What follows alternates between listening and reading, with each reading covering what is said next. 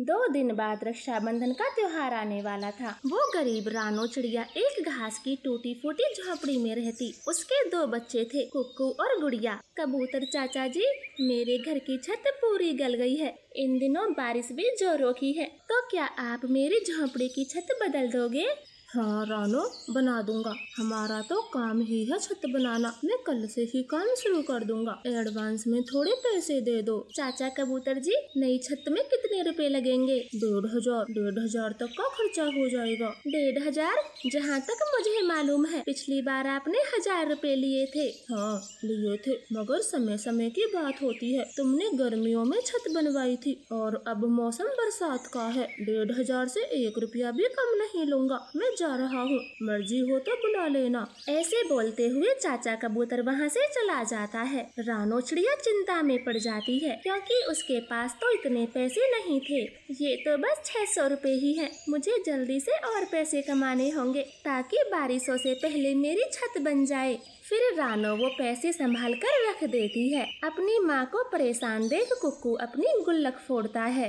मम्मा, आप ये पैसे भी संभाल के रख ले, नई छत बनवाने में काम आएँगे। अरे वाह, मेरा अच्छा बेटा, तेरे होते हुए मुझे कोई परेशानी नहीं होगी। ऐसे बोलते हुए मम्मा चिड़िया कुक्कू से पैसे ले लेती है और खुद कोई काम की तलाश में चली जाती है। गुड़िया अपनी दो सहेलियों के साथ बैठी नदी पर बातें कर रही थी।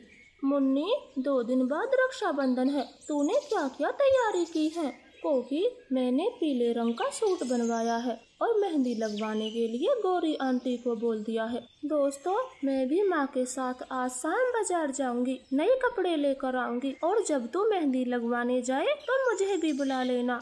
ठीक है, लेकिन याद रहे, गौरी आंटी एक पंख पर मेहंदी लगाने के सौ रुपए लेती है। गुड़िया, क्या तुम नहीं चलोगी? मेहंदी लगवाने का शौक तो मुझे भी है। मैं भी कल तुम दोनों के साथ चलूँगी।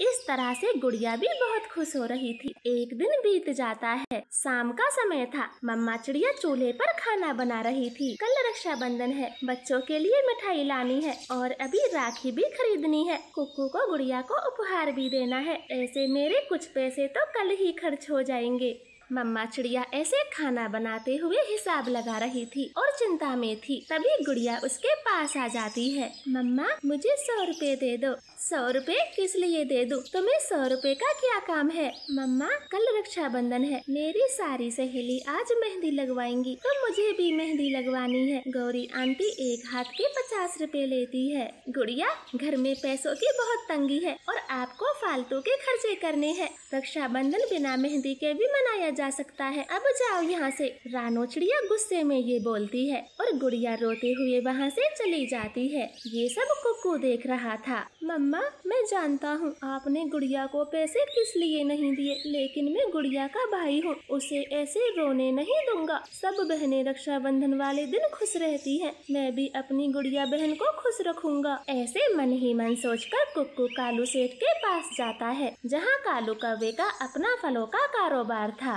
कालू अंकल जी मुझे पैसों की सख्त ज़रूरत है। क्या आप मुझे थोड़े पैसे उधार दे देंगे? अरे रे रे पिद्दी सा लड़का है। मुझसे उधार लेगा। जा जा मम्मा की कहानी सुन के सो जा। आया बड़ा उधार लेने। कालू अंकल जी मैंने कहा ना मुझे पैसों की सख्त ज़रूरत है। बदले में आप मुझसे कोई काम करवा सकते जैसे कि मैं आपके बाग के सारे फल बेच दूँगा। बात तो सही है। बच्चे से फल भी पक्षी खुश होकर खरीदेंगे। ठीक है कल दस बजे आ जाना। मैं पैसे दे देता हूँ। कालू कौवा कुक्कू को पैसे दे देता है। रास्ते में कुक्कू गुड़िया के लिए फ्रॉक और मिठाई खरीदता है और घर जाकर बोलता है, गुड़िया मेरी बहन, ये लो सौ रुपए और गौरी आंटी से सुंदर सी मेहंदी लगवाने जाओ। कुक्कू भाई, आप तो बहुत अच्छे हो, मैं अभी जाती हूँ। गुड़िया का चेहरा खुशी से खिल उठता है और वो मेहंदी लगवाने चली जाती है। कुक्कू अपना लाया हुआ सामान छुपा देता है। रात गुजर गई थी। सभी बहनें अपने भाई को राखी बांधती है। गुड़िया बहन, लो, जल्दी से नई फ्रॉक पहन लो और राखी बाँध कर अपना गिफ्ट लेना। भाई, आपने मेरे लिए कब खरीदा। बहुत अच्छा है। मैं अभी पहन कर आती हूँ। फिर गुड़िया फ्रॉक पहन कर आती है और कुक्कू को राखी बांधती है। कुक्कू भी उसे उपहार देता। दोनों भाई बहन खुशी खुशी रक्षाबंधन का त्योहार मनाते। कुक्कू बेटे, आपने तो अपनी गुल्लक फोड़ दी थी और सारे पैसे भी मुझे दे दिए। फिर ये सब आपने कहाँ से खरीदा?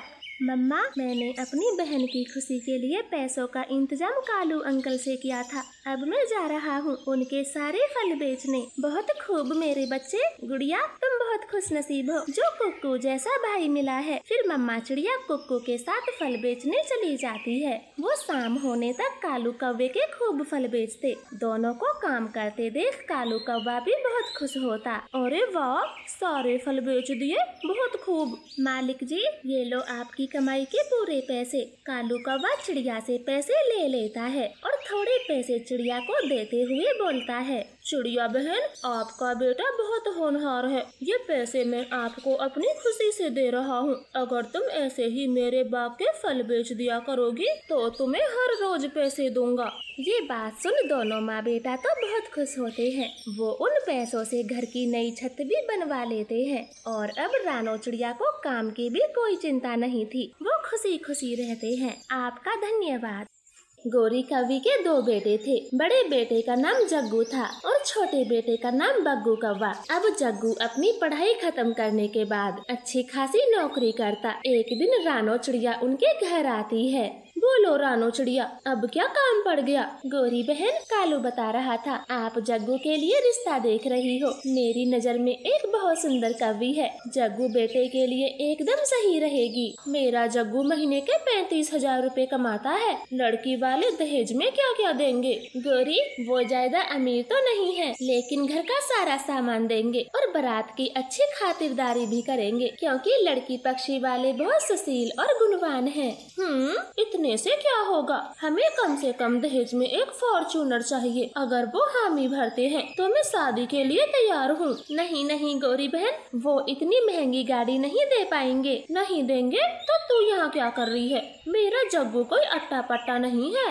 नौकरी करता है सरकारी नौकरी। मैं तो बस इसलिए आई थी। कालू बोल रहा था, उन्हें घर के लिए अच्छी बहू चाहिए, ना कि दहेज। अब पता चल गया तो जाओ यहाँ से। गौरी, जब से जग्गू की नौकरी लगी है, तुम्हें बड़ा घमंड आ गया है। किसी से सीधे मुँह बात तक नहीं करती। ऐसे बोलते हुए चिड़िया वहाँ से चली जाती है। कुछ दिन बीत जाते हैं। गौरी कवि ने तो जग्गू का रिश्ता एक बहुत अमीर घर में तय कर दिया था। लो, कबूतर मिठाई खाओ। मेरे जग्गू का रिश्ता पक्का हो गया। बधाई हो गोरी बधाई हो। ये तो बड़ी खुशखबरी है। मैं ज़रूर मिठाई खाऊँगा। लो चिड़िया, तुम भी मिठाई लो। अभी तो घर में ऐसे डब्बे दस रखे हैं। लड़की पक्षी वालों ने ही भेजे हैं। वो बहुत अमीर है। किसी बात की कोई कमी नहीं छोड़ी। फॉर्चुनर गाड़ी के साथ साथ मेरे लिए सोने का हार भी दे रहे हैं। और खाने का इंतज़ाम तो बड़े रेस्टोरेंट में किया है। वाह गोरी, फिर तो मैं बारात में ज़रूर जाऊँगा। उनके वहाँ का स्वादिष्ट स्वादिष्ट खाना ज़रूर खाऊँगा। हाँ हाँ कबूतर ज़रूर जाना।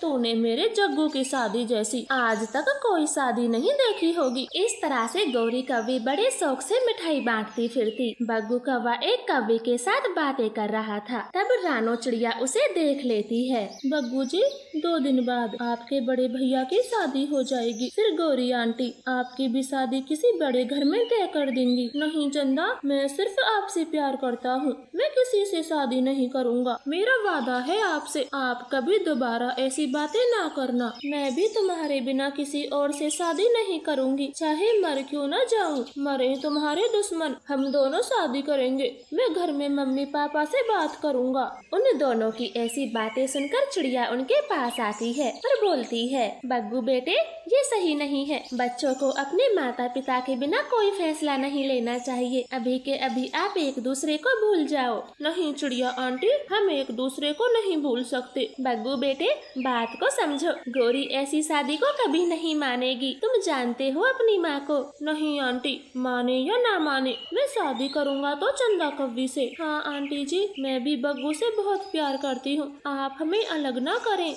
बल्कि गौरी आंटी से आप भी बात करें। चिड़िया तो उन दोनों की ऐसी बातें सुनकर चुपचाप लौट जाती है। उसी शाम बग्गू घर में सब कुछ बता देता है। मम्मा, मैं उसी से शादी करूँगा। चाहे आप माने या ना माने, चलो ठीक है, तू कर ले अपनी पसंद से शादी। मैं कुछ नहीं कहूँगी, लेकिन शादी में दहेज मुझे जग्गू जैसा मिलना चाहिए। क्या वो इतनी अमीर है? नहीं माँ, चंदा के पिता नहीं है। उसकी माँ बहुत गरीब है। वो भैया जितना दहेज तो नहीं दे पाएँगी। बस बस तो ये शादी नहीं होगी। मैं ऐसी गरीब और चंट लड़की को जानती हूँ। मैं तेरी शादी किसी अमीर घर में करवा दूँगी, बिल्कुल जग्गू के जैसे। अब ना बोलना।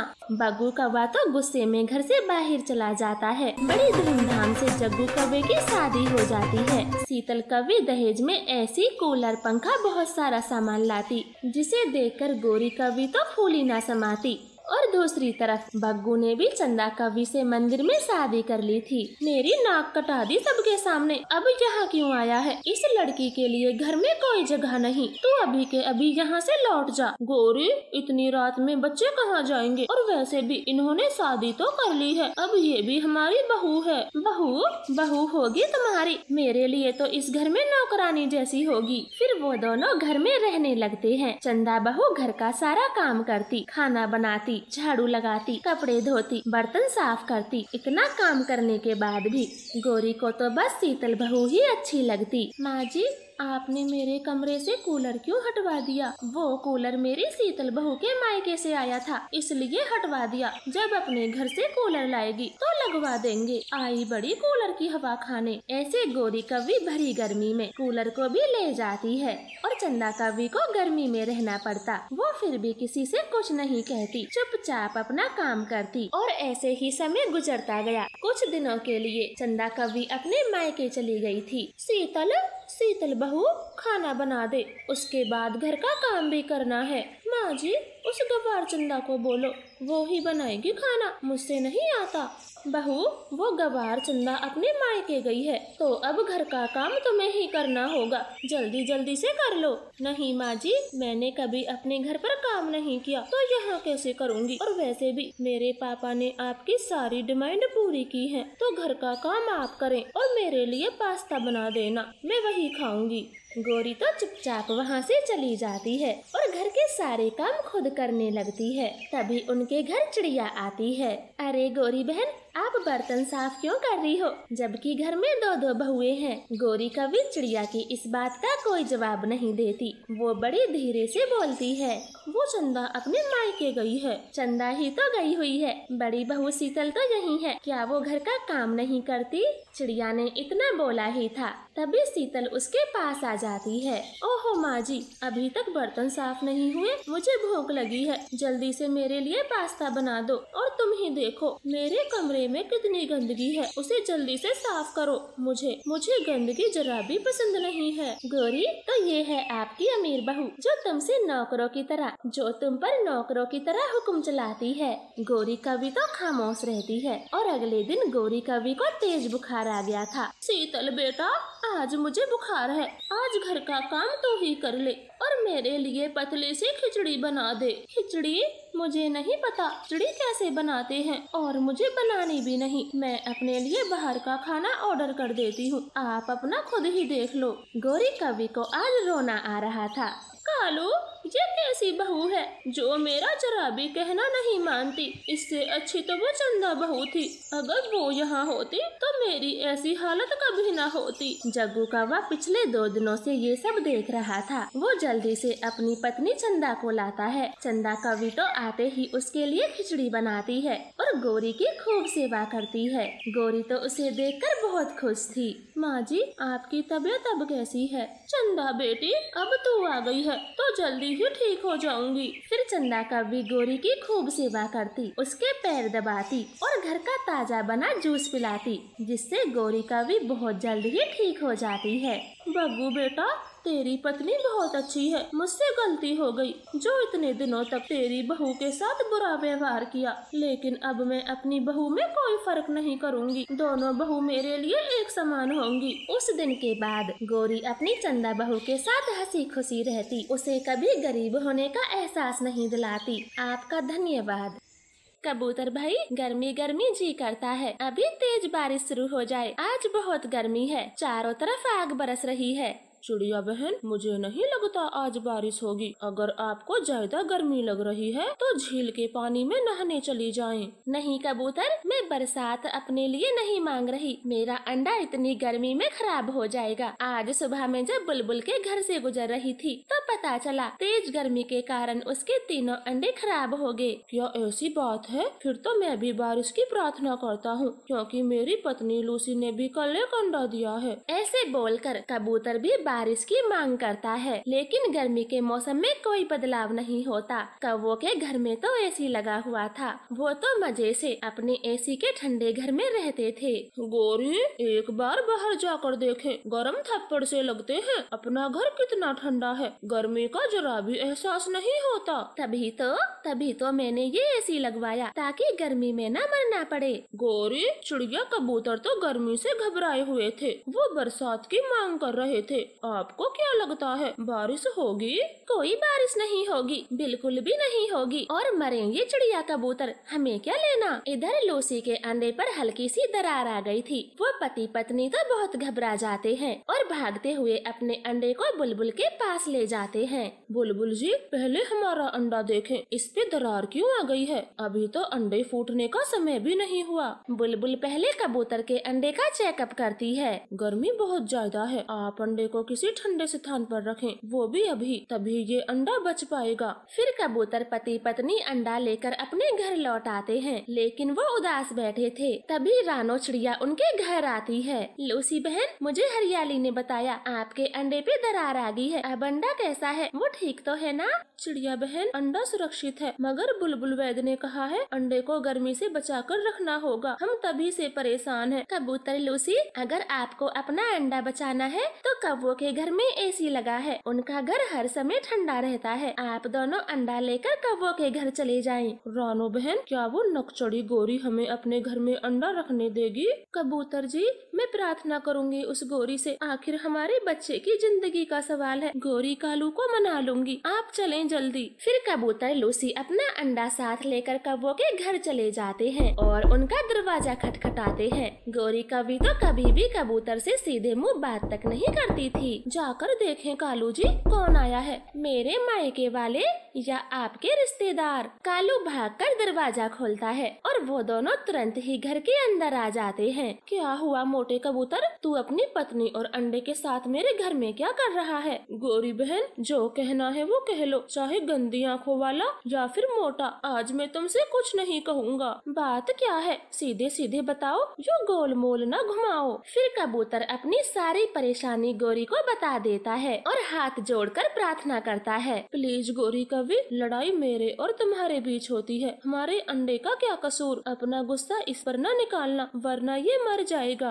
दोनों तो हाथ जोड़कर उसे लगातार विनती कर रहे थे। गोरी मना नहीं कर पाती। ठीक है, तुम दोनों इतना बोल रहे हो तो मान जाती हूँ, लेकिन गोरी फ्री में किसी की मदद नहीं करती। हाँ मैं जानता हूँ, तुम चिंता मत करो। जब तक हमारा अंडा तुम्हारे घर में रहेगा, मैं तुमको भोजन ला कर देता रहूँगा। फिर कबूतर भागकर अपने घर से भोजन लाता है और कब्बों को दे देता है। कालू गोरी तो बहुत खुश थे। गोरी जी, ये बिज़नेस बहुत अच्छा है। गर्मी में घर बैठे बैठे भोजन मिल रहा है। तभी तो मैंने कबूतर को मना नहीं किया। अब मज़े से दाना खाओ। कबूतर भैया, क्या गोरी मान गई? आपके अंडे को घर में रख तो लिया?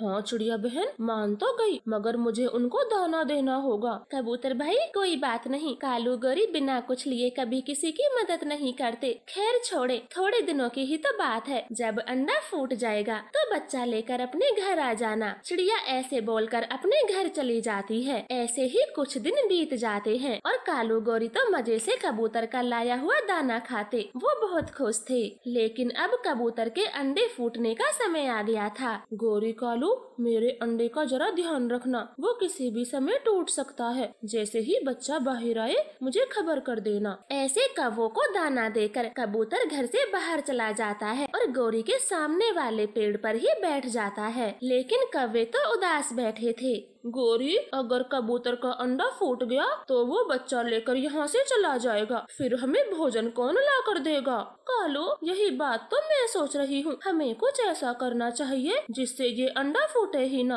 और कबूतर हमें दाना ही खिलाता रहे। गोरी, एक उपाय है। हम कबूतर का अंडा पत्थर से बदल देते हैं। ना तो पत्थर टूटेगा, और ना कभी बच्चा निकलेगा, और ना ही कबूतर हमें दाना देना बंद करेगा। चलो तो पहाड़ियों में, मैंने वहाँ अंडे जैसे पत्थर पत्थर देखे हैं। वहाँ एक सफ़ेद पत्थर भी है। हम उसी को लेकर आते हैं और इस कबूतर के अंडे को वहीं फेंक आते हैं। हमें क्या लेना इससे? फिर कालू कौवा अंडे को अपने पंख में छुपा लेता है और दोनों पीछे वाली खिड़की से भाग जाते हैं। पहाड़ियों में बहुत सारे अंडे जैसे पत्थर पड़े थे। वो एक पत्थर उठा लेते हैं और कबूतर का अंडा वहीं छोड़ देते हैं और छुपते छुपाते अपने घर आ जाते हैं। कालू गोरी, अंडे में कोई हलचल हुई थी क्या? नहीं, कबूतर, अभी अंडे में कोई हलचल नहीं हुई। जब टूटेगा तो दरार पड़ेगी। तो मैं तुम दोनों को खबर कर दूँगी। अब जाओ यहाँ से। बात सिर्फ़ अंडे रखने की हुई है। ऐसे कबूतर पति पत्नी वहाँ से लौट जाते हैं और अपने अंडे को सुबह शाम देखने आते। मगर अंडा तो जैसे के तैसा था, क्योंकि वो तो एक पत्थर था।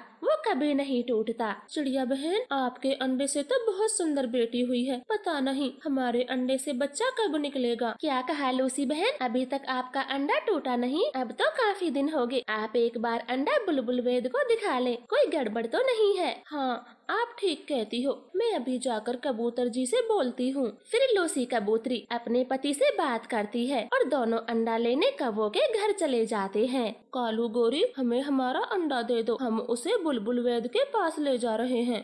कबूतर भाई, आपका अंडा एकदम स्वस्थ है, बाहर गर्मी है, रास्ते में कुछ हो गया तो? हाँ कबूतर जी, गोरी एकदम ठीक कह रही है। आप जाए, बुलबुल वैद को यहीं बुला कर लाए। फिर कबूतर बुलबुल वैद को बुलाने चला जाता है। कालू गोरी तो डर के मारे पसीने पसीने हो गए थे। बुलबुल घर आ जाती है। कबूतर, मैं एक डॉक्टर हूँ। मेरा कीमती समय मज़ाक करने के लिए नहीं है। ये कोई अंडा नहीं, बल्कि ये पत्थर है, जिसे आप चेक कराने मुझे यहाँ लाए हो। क्या कहा? ये पत्थर है? फिर हमारा अंडा कहाँ है? कालू गोरी, सच सच बताओ, तुमने हमारे अंडे के साथ क्या किया? वरना मार मार के तुम्हारी जान ले लूँगा। कालू गोरी तो कबूतर से बहुत डर जाते हैं और रोते हुए सब बता देते हैं। जालम कहीं के, तुमने जरा से भोजन के लिए मेरे अंडे को मरने के लिए छोड़ दिया। तुम बहुत बुरे पक्षी हो। लोसी जी, अभी इन्हें छोड़े चले पहाड़ियों में। हम अपना अंडा ढूंढते हैं। फिर लोसी कबूतर भागते भागते पहाड़ियों में जाते हैं और अपना अंडा ढूंढते हैं। वो सबसे पूछते हैं, एक बूढ़ा उल्लू उन्हें काफ़ी देर से देख रहा था। क्या आप दोनों यहाँ अपना बच्चा ढूँढने आए हो? हाँ बूढ़े उल्लू जी, कुछ दिन पहले एक दुष्ट कौवा हमारा अंडा यहाँ छोड़ गया था। हम वही ढूँढने आए हैं। तो चलो मेरे साथ, तुम्हारा बच्चा मेरे घर में है। फिर वो बूढ़ा उल्लू उन दोनों को अपने घर में ले जाता है। घोंसले में एक छोटा सा कबूतर का बच्चा बैठा हुआ था। ये है वो बच्चा जिसे मैं कुछ दिन पहले अपने घर लाया था। ये तुम्हारा ही होगा। बूढ़े उल्लू काका, आपका बहुत बहुत शुक्रिया जो आपने हमारे बच्चे को अपने घर में रखा और इसकी जान बचाई। हम आपका ये एहसान कभी नहीं भूलेंगे। ऐसे दोनों माता पिता अपने बच्चे को सीने से लगा लेते हैं और खुशी खुशी अपने जंगल लौट जाते हैं।